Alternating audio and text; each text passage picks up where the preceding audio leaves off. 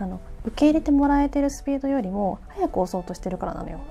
へえ、うん、だからこう抵抗されるから自分の指が変形しちゃうわけじゃない、あうーん、でも受け入れてもらえてたら普通にこのままスーって入っていくから、なるほど。うん、それでもちょっと目で確認しながらあちょっと早すぎるかなとか、まあ、早い弱いではあ早い遅いではないんだけどね。うまくすればもうスッて入るから。ただ最初のうちはそれができないからちょっとゆっくりめにやってるよってだけであのちょっとじれったいかもしれないけど慣れてきたら早くはできます、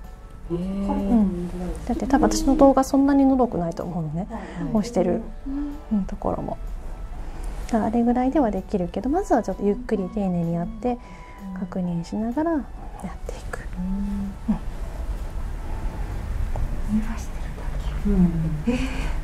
入れてますか結構十分じゃない？つも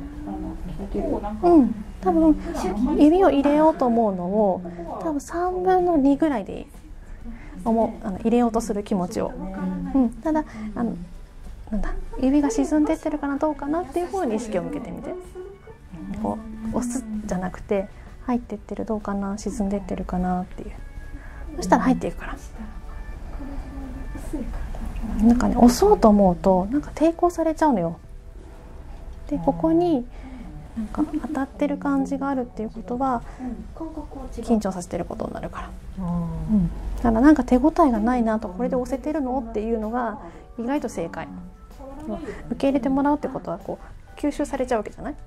うん、それが無理に押すこの受け入れるスピードよりも速くするとドンって当たるから抵抗はあるのね。だ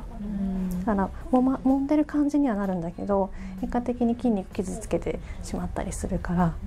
なんかあれスルスルって入っちゃってなんかこれで押してるんですか？押せてます？っていう方が合ってたりする。ちょっと新しい感覚を。なのでいつもよりもあの押そうとしなくていいからもう練習だから思いっきりなんか軽めにやってみてあ意外とこんなんでもいけるんだっていうのは。